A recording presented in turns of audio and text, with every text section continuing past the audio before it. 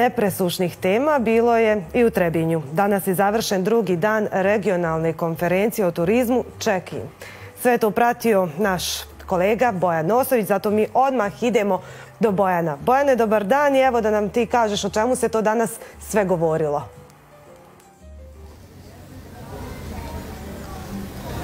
Sandra, dobar dan iz Trebinja, dobar dan iz e, turističkog grada. Ovih dana u pravom e, smislu je to turistički grad. Naime, protekla dva dana e, Trebinje je bilo turistički centar. Pričalo se samo o turizmu. Pri kraju je prva regionalna konferencija koja govori o turizmu check-in. Pričalo se o važnim temama, važnim gostima. Doneseni su i važni zaključci, ali koliko će sve ovo značiti Trebinju i Trebinskoj turističkoj organizaciji, sve to mi pitamo Nikolu Kokića iz turističke. Hvala vam što govorite za centar centar dana, koliko će značiti check-in?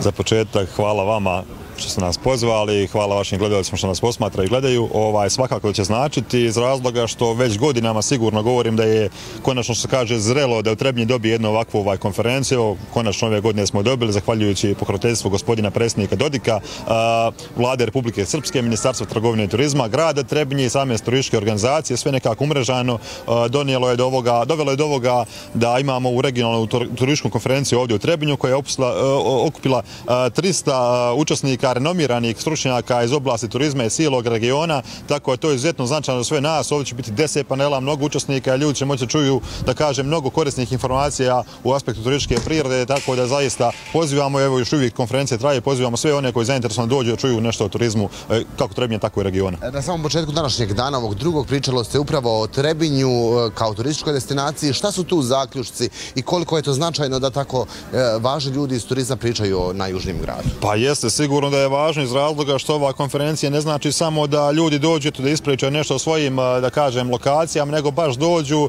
ljudi iz jačih centara, kao što ne znam, imamo recimo ljudi iz Sjeverne Makedonije, ljudi iz vlade Sjeverne Makedonije, ljudi iz Srbije, Zlatibor, Crna Gora i tako dalje, koji će nekako s nekim svojim pozitivnim praksama i iskustvom sa terena i nama ovdje pomoći, možda neke stvari da je napredio, možda neke stvari da nas pohvale, možda neke stvari da nas kritikuju, šta to ne radimo dobro, tako da u svakom slučaju uvijek je bitno u našoj oblasti, pogotovo u turizmu, da kažem nekako široka oblast, da imamo što više ovakvih konferencija, da bi da kažem struka razmijenila mišljenja i da bi se naravno naprijedile neke stvari kako turizam u Trebnju ne bi bio neka da kažem trenutna pojava, nego da bi to bio kontinuitet kao privredna grana.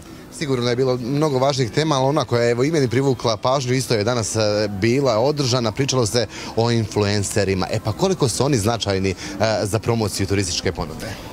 Dobro pitanje, influenceri su jako bitni, evo, kažem, dobro pitanje iz aspekta turističke organizacije, jer mi imamo zaista sjajnu saradnju, mislim da bukvalno ne postoji reporter, influencer kojim se nije obratio, kojim nismo pomukli e, kako logistički, tako i tehnički ovaj, organizacijom njegovog boravka ovdje, tako da naravno da je nekako naša neka vizija turističke organizacije da je izuzetno bitno da tim kanalima prodaje što su društvene mreže i internet generalno privučemo što veći broj e, putopisaca, reportera, influencera ovdje u Trebnje, jer naravno u 21. vijeku, e, da kažem, mlađe generacije izuzetno vole da na taj način preko društvenih mreža, da se na taj način upoznaju sa, sa destinacijom, tako je to izuzetno bitno i ovom prilikom mi Suriške organizacije pozivamo sve one koji su, kojima je interesantno da dođu Trebnje, snimaju ovaj grad eh, na taj način da nam se obrati, mi ćemo svakako veliko dušno izaći u susret. Ja vjerujem da su i influenceri, ali i moje kolege, novinari, svi da smo doprinijeli eh, ovim brojkama o kojima ćete mi sada govoriti. Jeste zadovoljni kako je prošla ljetna turistička sezona? Pa jeste, naravno, ovaj, evo, pohvala, pohvala i vama i svim, da kažem, novinarima, iako ako naravno imamo nekih zetaka koji, koji ne čine, da kažem, pravilo, ovaj, eh, što lijepo promovišete naš grad, svakodnevno imamo izjave, ovaj, da kažemo, i neke priloge što se tiče Trebnja koje su uglavnom pozitivne.